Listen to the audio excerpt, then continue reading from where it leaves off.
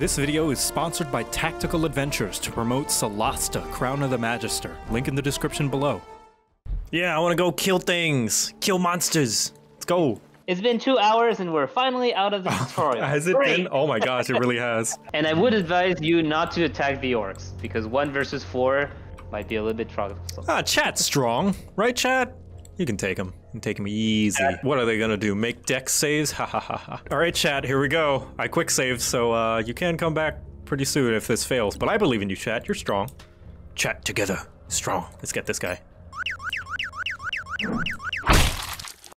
My head headcanon is that chat totally annihilated all four orcs single-handedly.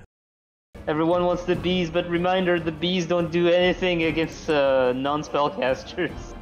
I feel like every time you're gonna have like the a fight, like chat is gonna yell bees for some reason. If we meet a spellcaster chat, the first thing I'm gonna do is cast bees.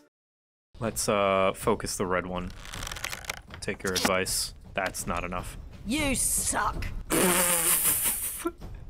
Very, chat being come on. Why you gotta be mean, chat? Use the bees, you fool. All right, chat. On your turn, we're using the bees. we really want the bees. And all right, chat. Let's see. Let's hope. Uh, annoying bees. Look at the bees. Look at them going. Bees.